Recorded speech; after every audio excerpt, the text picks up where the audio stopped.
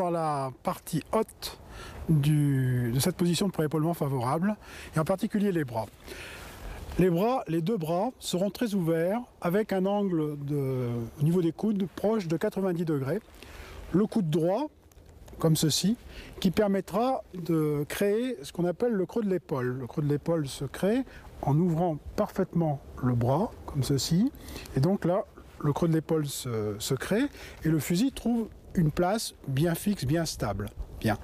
Alors, le bras gauche également sera ouvert à 90 degrés avec euh, le poignet euh, ouvert comme ceci. L'index sera bien à l'extérieur, ce qui permet d'abord de pointer la trajectoire, de bien diriger la- avec la main gauche le, le canon du fusil dans la trajectoire.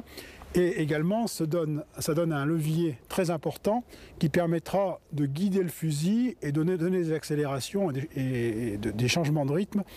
Euh, alors que si vous avez, par exemple, une position comme ceci avec le bras fermé, évidemment, vous êtes très limité en amplitude.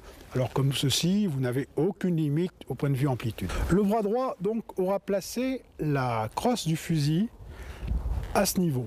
Alors, ce, niveau, c'est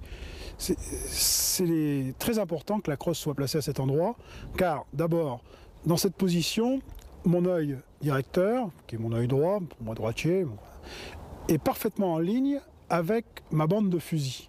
Donc déjà, je ne vais, dans ma position de pré-épaulement, je ne ferai pas de faute directionnelle de par le fait que mon œil est déjà bien en ligne avec mon, ma bande de fusil et donc avec mon fusil.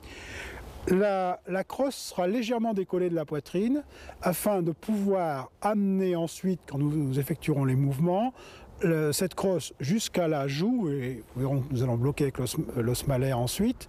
Et donc il est très important qu'elle soit légèrement décollée de la poitrine afin de ne pas être obligé de la projeter sur l'avant pour la ramener en arrière.